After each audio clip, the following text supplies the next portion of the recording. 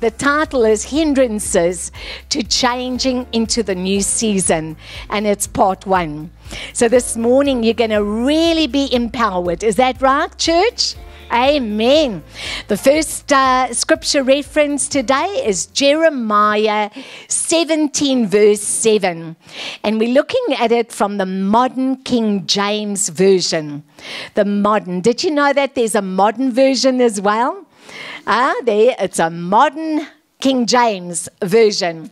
It says, Blessed is the man who trusts in Jehovah isn't that wonderful? He says, and Jehovah is his trust. So, how awesome is it that when we develop trust in the Father, that we keep our trust? And it's like Father's Day today. All the children and the wives, they trust the Father. Is that not true? And we're going to sing for all the fathers just now. They definitely need some singing. Is that not right? We definitely need to bless our fathers today. Amen? And we're going to do that uh, before we leave the building. So remember, God says change is a process. And remember, process that many people find difficult. So it's from level to level to level. And it's a process. And in all the processing, something gets developed in our heart so that we can contain and manage the blessing. Managing the blessing has to have building blocks in it. It has to have stabilizing factors in it. And the stabilizing factors that are in the building of managing the process from process to process and from level to level. And we're going to look at that. Change is necessary for reaching your destiny. Remember, we all have a great destiny God has got for us. But remember that the destiny needs to be attained through process after process after process. Don't you just love the fact that God says that the giftings on our lives make room for us? And it's because we develop skills through the giftings. And those skills that are developed through the giftings causes us to become more able and more able to manage what God has got for us. Amen? And so if we are not changing, remember, we are not growing. And growing is definitely part of the processing that we need to continue in the goodness of God, right? Amen? And so we are to build for the battles we face on a daily basis.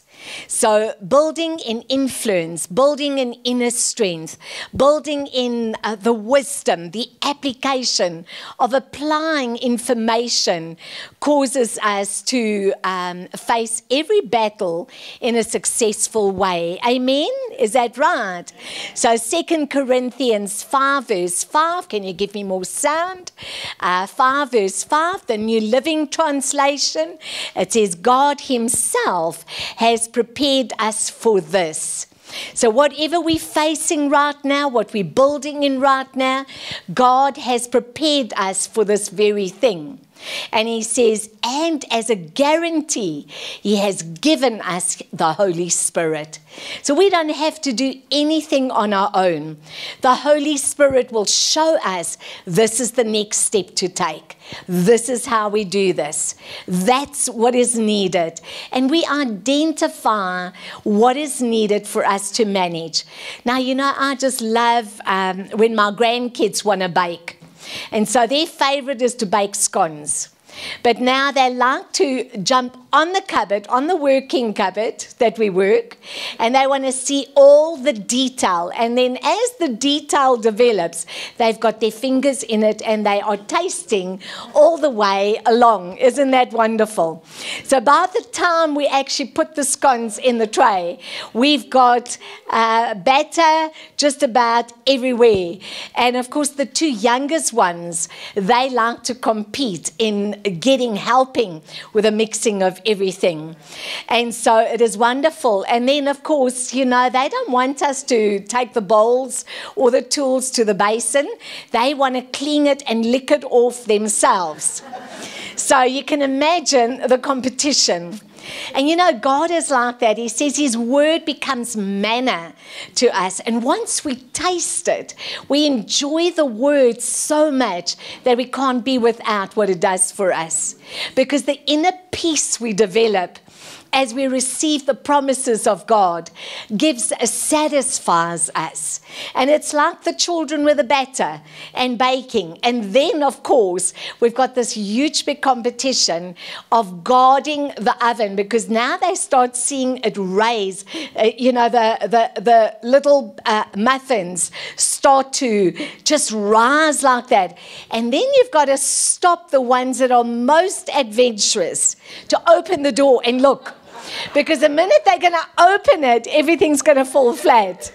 So we've got to read them their rights. This is the rules of, of watching and uh, seeing what is developing before you.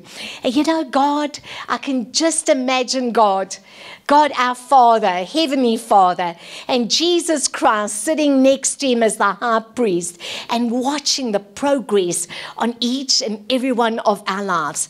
Oh, so they've applied it. By the stripes of Jesus, you are healed. Just look out, look at the results. Let's give them a little extra. Let's just help them a little bit more so that they see that this manna from heaven works. And this is this guarantee that the Word of God, just a good description, part of it, there's many illustrations. God Himself has prepared us for this. Now think of the preparation. From the minute you meet the Holy Spirit, and from the minute that the Word of God becomes real in your life, you cannot be without it. And if you are without it and you've neglected meditating in the Word of God, your old man rises and your old ways rise again that cause you so much sorrow. Isn't that sad? So we can see that our conduct becomes of the old. Our words that we use become the, the, old, the threatening each other, the bailing out, all of the old rises up which causes us much sorrow. Is that not true? Who's experienced that? Amen. And so, without the Holy Spirit, we can't win. But now let's have a look at verse 6. It says, So we are always confident. Everyone say, confident. You don't face a battle without confidence. You don't get married without confidence. Is that right? Because we found out that the stars and the moon don't always work together with us. Is that right? Amen? And the butterflies don't always land on our heads if we didn't enter into that agreement with the right focus and the right reliance. Is that not right? Amen. So, at the beginning stages of a relationship, we're talking relationship, you have that wonderful feeling that comes over your, your whole being. If you just hear the voice of the person that you fall in love with. Anybody had that twinkling butterfly, a little roar? And I'm sure that the felt that they had more muscle when they just heard that little voice. They suddenly they just felt strong. They could take the world. Take the world. Amen. if the love and if she just gave you that special smile, it just turned your knees into a different appearance, a little bit sort of more sort of jellish. She could ask you for anything at that moment. Is that right? And you know what? This love that God talks about literally puts God in a position where He just wants to bless you. He wants you to be confident that He will always have your back. He will always cover you. He will always protect you. But it's us that draw away to ourselves. And when we draw away, we don't have all of that rescue plan that we need in our lives to survive in such an evil world. So in verse 6, it says, So we are always confident, even though we know that as long as we live in these bodies, we are not at home with the Lord because we get to manage these bodies. We get to manage the territory God has put your footsteps on. You chose to live there, now you get to manage that place. Is that right? No one's going to come and clean your floors. No one's going to make sure that it's a happy place except you and your agreement with what God has assigned for you. So, can you see how much God has given you? He has given you the land and He wants you to influence it. Wherever you are and wherever you go, influence it with what He's put inside you. So you don't have to go and look for it. It is inside of us. And the more we draw closer to Him, the more we respond like Him. Amen. And so 2 Corinthians 5 7 says, For we live by believing. How do we live? By believing. But if we look at what it seems like, uh, which is temporary, we will really be blown away and really be discouraged.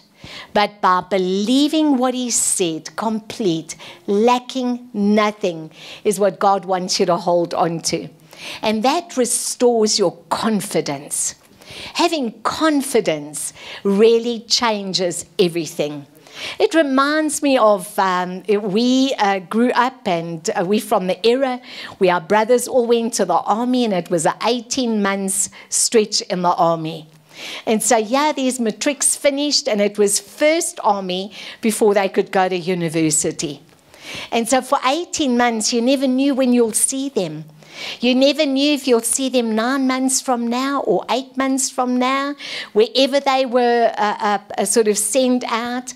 Um, obviously, um, you wanted to sort of get a, a, sort of knowing of what is it like in the army.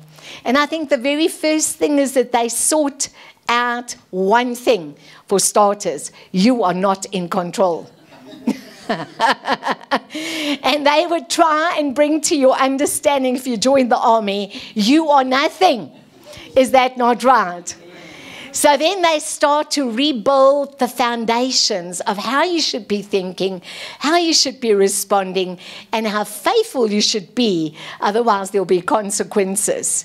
And I think a few of uh, the men, the young troopers, they decided to AWOL and uh, for that weekend. And so those were still the days where they could, from Kimberley, uh, could still hike to get home. Is that not right? So you never knew when they would arrive. And you just had this pounding on the door because they're so glad they've walked all night, they've walked another day, and they've walked another night just to be home for a few hours and then obviously get back to wherever they were posted, whether it was Bloemfontein or Kimberley or wherever it was, but it was quite a thing. But think if we had to ever be without the Lord at any stage of our lives, we would not have hope. We would not have confidence, and we, will, we would definitely be leaning more over to what we see instead of what we believe. Is that not right? Amen? And so some have lived in seasons of winter. And seasons of winter is not all that pretty. Seasons of winter is when joy is gone, hope is gone, there's nothing to look forward to. There's no new growth. There's no flowers. There's no pretty. Just think how excited we get when we know that um, the new season is approaching spring, when all the spring flowers come out and all the fruit trees have got beautiful blossoms and all the new heads of the irises and all the beautiful flowers are starting to show the appearance of new life. And you know, we like new life, don't we? We like new things to come our way because that is how God designed for us to be. And so, but He wants us to give attention. Are, have we found our season that we're living in stuck in winter where there's no hope? There's nothing new coming, only just negative things are in your life. And there are five hindrances to change in our lives. I want us to give attention to the hindrances today so that we can walk into the beautiful new season God has got for us, hopeful and full of confidence. Five hindrances. If we don't give attention to it, this will truly keep us captive in a winter season if we don't give attention to it. And the very first hindrance to change is pride. And do we know how pride can keep people in captivity? Pride is a, is a yoke. Pride is a destiny thief because pride will not, it will put us in a rejected position and uh, not, in actual fact, uh, uh, a blessing position. Because whoever is prideful, you just don't want to listen to them anymore. You just want to push them out of your sight and you just don't want much to do with that. Is that not right? And you can't, even a leader that leads many people, cannot have pride because no one will follow them. Is that not true? Because pride and self righteousness is brother and sister. And we want to hear the voice of our Father, not man's perception. Is that not true? And so, a second uh, uh, yoker that will hinder change is fear. Because fear can be tangible. Fear can be so tangible that it can contaminate our surroundings. The fear of loss, or the fear of not being understood, or the fear of um, not being liked would put you in a lesser position, and you can't lead anybody to victory if fear is too prominent. The fear of the future, the fear of not having enough. Those things can be really, really huge, big giants in people's lives. Rebellion, number three, we all know what rebellion looks like, right? rebelling God. You're helping them, you're blessing them, but you, you bypass ours. How come they've got new paint and we don't have? that could be a little bit of rebellion in the heart, not realizing that we have responsibility. So, rebellion, no one can tell them anything. Is that right? A very big giant is laziness laziness, not wanting to go out and do it. Just experiment at least. Take the word and apply it and work the word, is what the word of God says. And a very sad hindrance is ignorance. Ignorance, not realizing that God has got a good future for you. And we miss out on the blessing. Is that not true? So, ignorance, not knowing what is God intended for you to enjoy in the future and on a daily basis. And we don't want to be ignorant. Is that right? Amen to that. So, locating these hindrances in our lives and committing to get rid of them. And remember, rid of them, they could be strongholds, they could be yokes, they could be, you could drive just to prove to you, you could be driving through a, a, a, maybe a township or a city, and you become very aware that there's poverty that is hovering in that territory. Now, that means there's a strong man that holds the keys of people's prosperity there. And it could be one of those hindrances, ignorant of what does the word say about it. Pride. Maybe pride, no one will tell me how to look after my children. And maybe the children don't even have shoes to go to school. And it could be something they could tap into to get extra help. But pride withholds them from inquiring. So we can see that all of these hindrances have robbed many people and kept them in a winter season instead of a beautiful, abundant summer season where there's enough. And committing to get rid of them will put you in the path to change. Now, that's identification. If we can identify, we can see and we can manage what we identify. So, the only way to change is truly by renewing your mind with what God says about your situation. Amen to that. If God says, I call you blessed, then you believe it. and you take that as a promise. And he says, I will bless you and not put sorrow on you. Then you believe it and you say goodbye to sorrow. If he says, I have a wonderful, a good future for you, then start becoming hopeful of a good future. Because remember, you have gifts in your life that will make room for you. It'll put you in a strategic place with strategic people, and they might say, I want what is on this man's life. I'm going to promote him.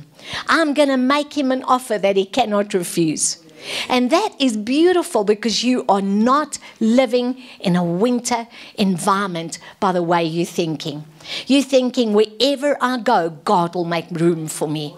The blessing has my name on it. And you know, how about waking up in the morning and say, the new season is beginning this morning, and it's starting with the words I'm using. This new season is starting where we are saying increase is coming our way. Financially, we are increasing in stature. The Lord is the one that blesses us. He causes the blessing to come our way. And so our mouths have a lot to do with whatever season we find ourselves in. Amen. And so, Romans 12, remember we said renewing of the mind? Romans 12, verse 1 says, I beseech you, therefore. That means God is calling us to his attention. Brothers, by the mercies of, the, of God, to present your bodies as a living sacrifice, holy, pleasing to God, which is your reasonable service.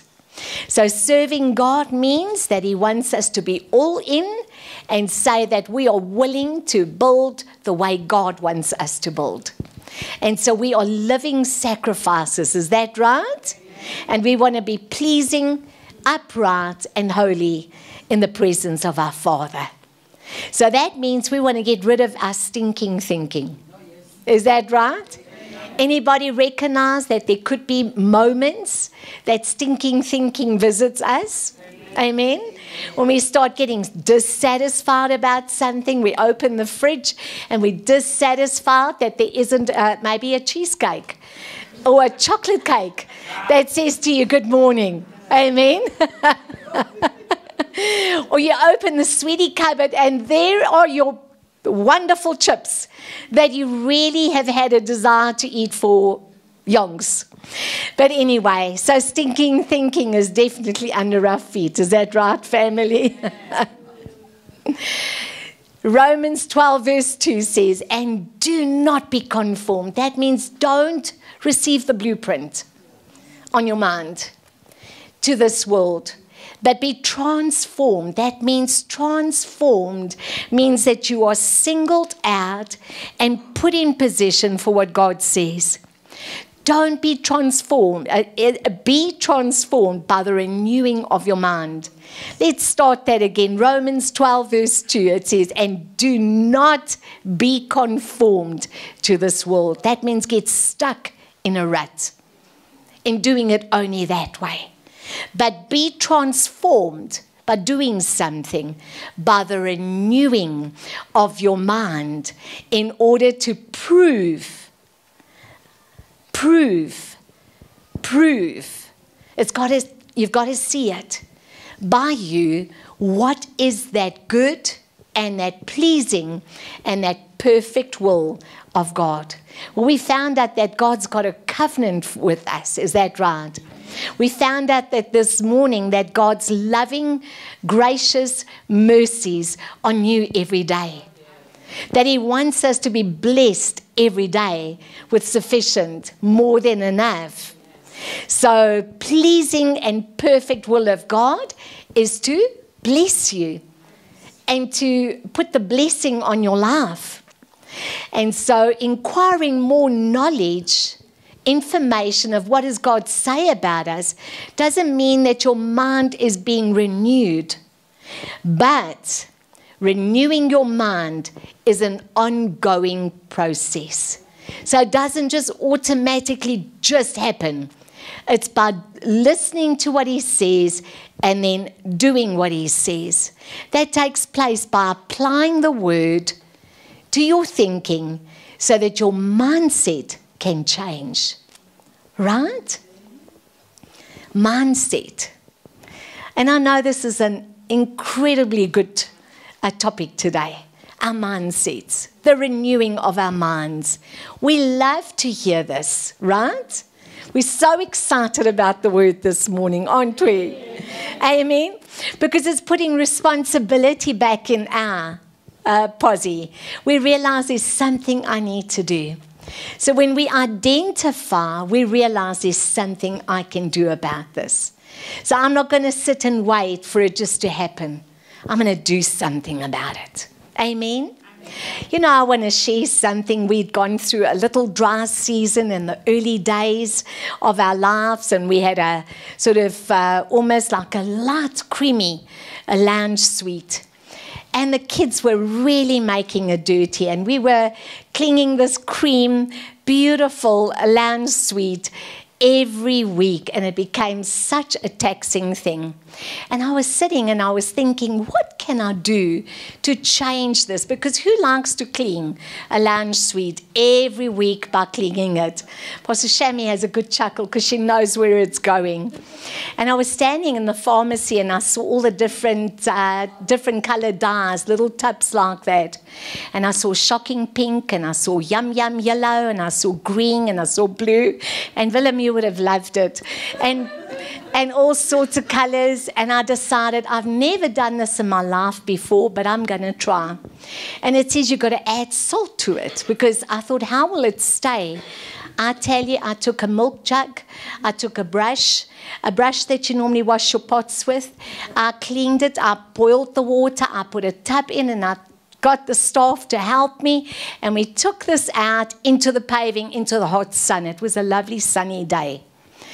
And we started, and I thought, let me first start with the back part of it because that can go against the wall if this doesn't work. so um, I did color by color. and I thought, well, I, uh, yeah, I, just have so much dye.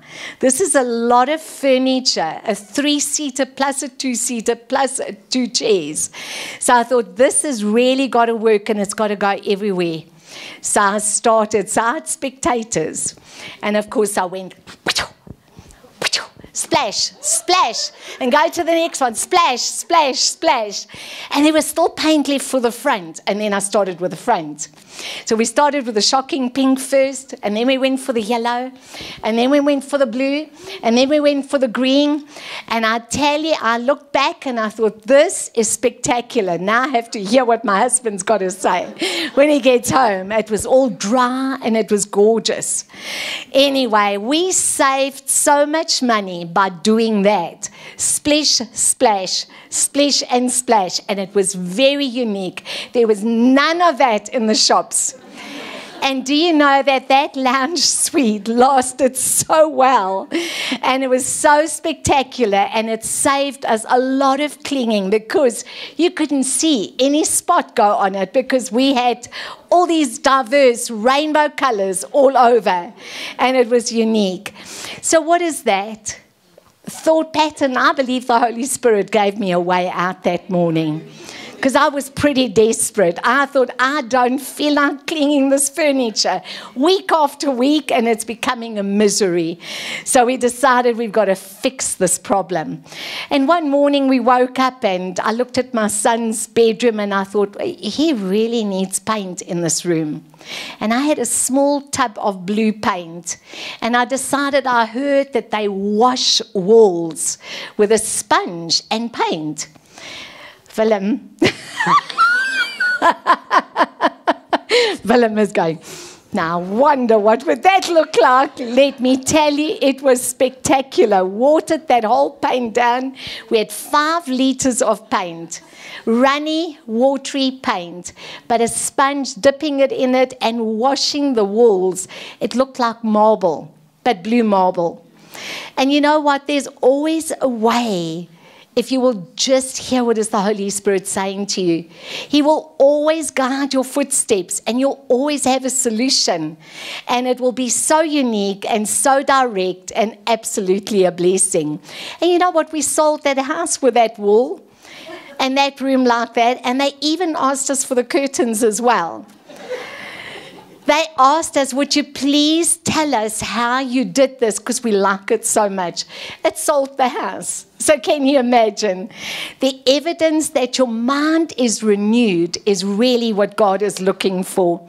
He wants us to walk with the evidence that He is in control. And you don't respond in the same way to the old temptations. You don't respond to it. Because once you become solid and you become steadfast, you are not moved by the little things that come your way, but you move by the potential God puts in you.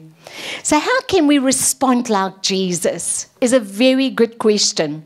I just think, how amazing was that? There, God is ministering to the multitudes in the hot sun. And He recognizes that it's lunchtime. He realizes that they are hungry. The babies and the little ones must have started crying. And then he decided there must be a way. So he talks to his, his leaders, his disciples that have been with him and seen miracles. He says, Go among them and let's feed the people. They are saying, Jesus, we better get food to these people. They are hungry. How are we going to feed them? And he says, Go and have a look and see what have we got. They thinking, let's go into town and go and buy food. Meantime, he knows that the miracle is on its way a little boy that left his home. So, how does God think? How does God plan? In a very unique, in a very special way. That little boy is let to go out for the day by his mom with fish and bread in his little, I don't think they were Tupperwares, his little basket. And he's got just enough for him for the day. And there he comes past the multitude and they find out that there's food. They bring it to the front, and God blesses the food, and He fills the baskets with food, enough for everyone to eat. So we can clearly see that our God is not bound by anything, but we are bound by the words we use. God can turn everything within your care into a miracle. And how does Jesus respond? 2 Corinthians 5, verse 5. God Himself has prepared us for this. He's prepared us for change. He's prepared us for more. He's prepared us for the renewal. And He says, and as a guarantee, He has given us His Holy Spirit. So we've got all the help on our side to be able to have renewal and to have the blessing that God has for us. The Holy Spirit created you and me, and He knows how we put together. Job, in the book of Job 33, verse 4, the, the Spirit of God made me. Job said it so well. And the breath of the Almighty gives me life. So we've got the breath of the Almighty inside of our mouths, and we get to decide are we going to allow Him to have a voice in our lives, or are we going to allow doom and gloom to have a voice in our lives? So change comes by the potential of the Holy Spirit ignited in us, leading and guiding us. And Paul wrote this so well the following saying, in John 6, verse 63, he wrote there, It is the Spirit that makes alive. The flesh profits nothing. The words that I speak to you are spirit and are life. So words birth the new. And if we don't allow the Holy Spirit to birth the Lord's sayings, we don't have the breath of God working for us. And so we can see how important it is to allow the breath of God to speak the blessing over our lives and not to give place, a foothold to Satan's destructive work of doom and gloom in our lives.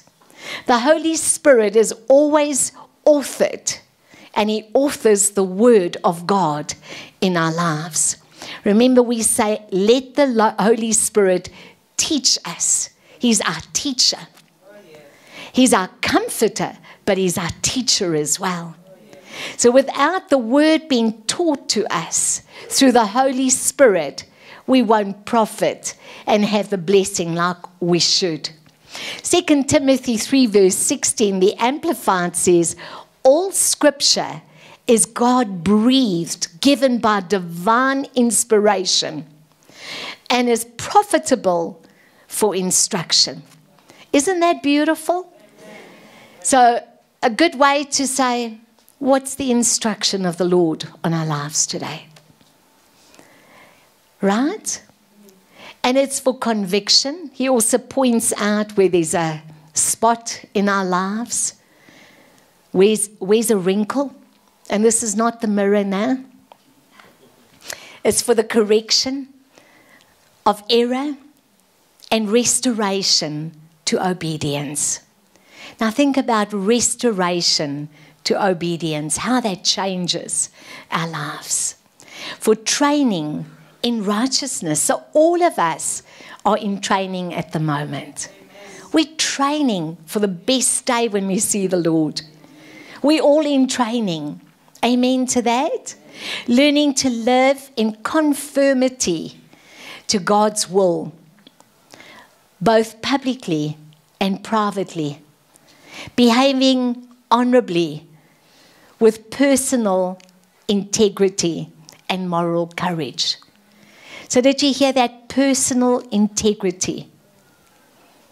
Isn't that beautiful? And moral courage. I love the amplified version of this particular verse. Verse 17 says, So that the man of God may be complete and proficient outfitted and thoroughly equipped for every good work. So we're in the school at the moment so that we will be thoroughly equipped for every good work. Isn't that a beautiful view to see the word, how it benefits us? It benefits us in such a beautiful way. It equips us for every good work. Hallelujah. And He wants us to be outfitted and thoroughly equipped for his good work. So we are to dedicate our bodies to God as a sacrifice. And when we sacrifice the things that could be harmful and rather choose to walk with Him, we're walking with a renewal that brings us to new things.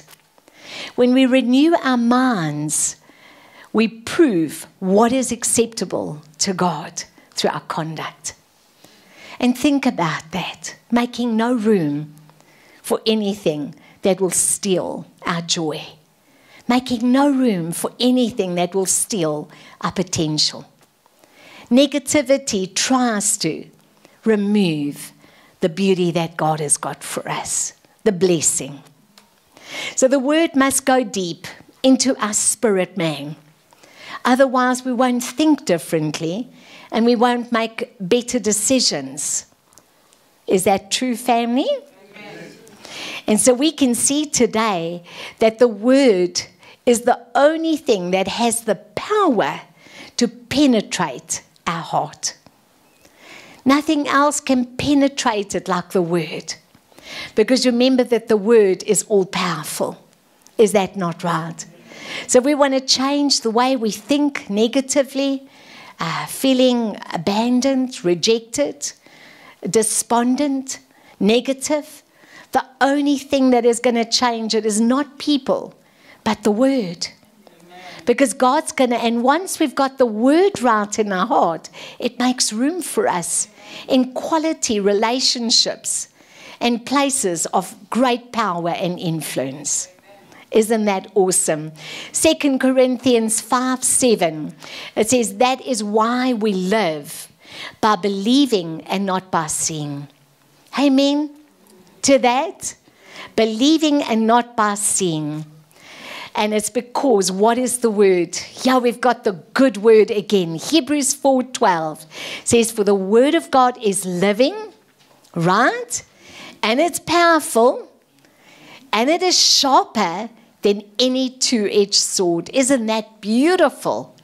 So that means all those negative thoughts Satan is trying to put in your mind, the minute you listen to what God says, it cuts the negative, destructive force of Satan off of your life. And it says, and it is sharper than any two edged sword, two ways, right? Piercing even to the dividing part of soul and spirit and of the joints and the marrow, and is a discerner of the thoughts and the intents of the heart. I love that. It's a complete package. Isn't that awesome? If you think how complete the package is, that the Word of God can remove negative, can remove what is deathly against you, can reveal the truth to you at the same time, and even give you discernment to the thoughts that we're holding on to. I love that. Jeremiah 31, verse 16 says, But now the Lord says, do not weep any longer. That means don't believe the negativity and the destructive force that has kept you in captivity. For I will reward you, says the Lord. Your children will come back to you from the distant land of the enemy. So when God comes and He's in control of something, it changes every dynamic of our lives. It removes disapproval, it removes separation, it removes rejection, it removes abandonment because it pierces the lie that the enemies try to keep us in slavery. And so, you know what, this day we are choosing not to remain in slavery. Is that right? We don't want to be slaves to that lesser plan that Satan has tried to enforce in our lives. And you know what? If you go home and you need paint for the front door, say, This is about to change. Start prophesying over the door. Say, This paint is coming in Jesus' name. If you look at those gutters that are like barely holding on for dear life, just say that these gutters are going to be renewed in Jesus' name. The blessing of the Lord is coming. You go through that front uh, gate that is maybe not standing sturdy or whatever, just say, I speak this in line in Jesus' name. And obviously, there comes a time where you've got to roll up the sleeve too. We can't just prophesy, we've also got to do the part that prophecy can come to pass. But you might be standing there and you hear someone says to you, You know what, I've got an extra tin of varnish. Do you need varnish? Yes, I do. Thank you. And there, the Lord already provides. It could be that the person says, I'm throwing some steel out today, and he's your neighbor. And he says, Do you need any steel before I throw it away? And there's the steel you need to put your gate together. Whatever it might be, God is the source of your everything. You might just find that a person just comes past and said and is recommended, comes highly recommended as an incredible worker Someone who is gifted, who can do woodwork, can do steel work, can paint, can do glass work, and everything. And he's got a few days free. And there you go. And God provides a way out. Amen to that. But if we're not going to prophesy, we're not going to change the season. You have to literally go and prophesy you might even have to go to the love of your life today and say, I prophesy that you adore me and that nothing, nothing disrupts our sleep. And it could be that they are a great snorer, keeping you awake at night. so you have to start prophesying. I prophesy tonight is going to be a peaceful evening. And you just love to sleep without singing in the middle of the night by snoring. but if you're not willing to prophesy, you're not going to see the change. Amen might be that you have to prophesy that your kids are not always hungry, that they are satisfied by the food you give them. Amen. Jeremiah 31, verse 17, gives us hope. There is hope for your future. Do you believe that? Do you believe that God is restoring your hope for the future? Instead of fear, that your hope is restored. Could be that one of you have made a mistake, and somehow the mistake is never forgotten. But let me tell you, God is restoring your hope.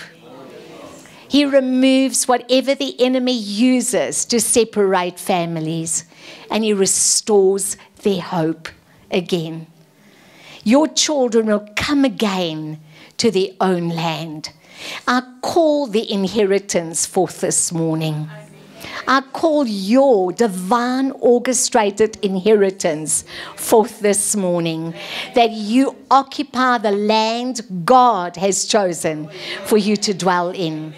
Fully paid for, without being a slave to any bank, any financial system that the blessing will overtake you in Jesus' name. And you know, God is a restorer of our hope. But if we consistently only see the dark, we will never live in hope and never establish our footsteps in what He says about it. He says, There is hope for your future. And you know what? We need to start prophesying that over each other. Because if we can't see a future, then we're not making ready for the blessing. Amen. So, Jeremiah 40, verse 4 is what we're going to be closing with. Uh, almost, it says, and, But I am going to take off your chains and let you go. Isn't that good news? What has been holding you back? God says He's taking the chains off and let you go. Why? Because your character is growing. The character, a godly character in you, is growing. Amen. You're no longer what you used to be. You are growing in the statures of your Father, your Heavenly Father, which is a good example for you. Amen to that. And he says, But if you want to come with me to Babylon, you are welcome. He says, See, the sea part, I will see that you are well cared for. But if you don't want to come, you may stay here. The whole land is before you. Go wherever you like. And you know what? The Lord wants you to be empowered, to be unlimited, and to grow in the environment that He ordains for you. So there's no limitations to anything if we will get our hope restored in our God, God will open up doors that no man can close. That's what he says in his word. He says, I've called you out of darkness. I have put my spirit in you. So we've got his breath in us. And his word is ignited in our heart. And we've got choices. I believe that God wants to strip limitations off of the children of God in the season we're standing. What has limited you? Is it that you feel devalued, not valued in your workplace? What is limiting you right now? Whatever that is, I believe God is going to restore your hope back and He's granting you a good future. Are we prepared to believe that today? And on this note, I want to close the meeting by praying for you today. And truly, we are going to agree with each other that whatever's held us back, if it's that promotion that has been held back, and just longer hours you've had, but you haven't had what you believe is your part because you've given your all, God knows that. And God's going to bring you before the right king that will value you, that will see the giftings on your life, and truly empower you to prosper. So I believe that is your portion today and this week. If you will remember that God says, I restore your hope. I'm restoring your hope. And you will be a great nation. Amen, Amen to that. Amen. So let us pray. And just remember what it is that you struggle with. Remember what it is that really steals your joy. If it is that you don't feel valued in your workplace, whatever it might be, if it is that your gifts aren't recognized, if it is rejection that speaks to you, if it is loneliness, whatever, abandonment, limitations, our God is a big God. Our God is a good God. And He says He's mindful of His people. So this morning, we're going to put it in action and you're going to walk according to what you prayed. And I believe God is going to restore that back to you in Jesus' name. Amen. Heavenly Father, we bring the church before you. Father, we've heard your word this morning. And we believe your word. We believe that your word is yea and your word is amen. We believe that your word has promised us that you are restoring our hope back to where it needs to be, in position for the blessings that you have. We believe that you have given us and you have grown the giftings within us in such a way that we are ready to step over and enjoy what you have prepared for us. And Father God, wherever there's fear, wherever there's limitations, we want to come against the limitations of negativity and things that have held your people back. And today, in the name of Jesus, we cancel the legal right of the negative thoughts for starters, the negative investments that have been made in our lives. Maybe words that were spoken causing such limitations. We want to come against every word of limitation today. And we today cancel its legal right. We ask you, Lord, to forgive us for thinking limited thoughts, thoughts that are without your interventions, thoughts that only just lean on self. And we ask, Lord, today that you would ignite our hearts with the truth of your word. So that the word that we embrace and the word we choose to hold on to, which is your truth, will begin to uh, uh, make room for us wherever we go.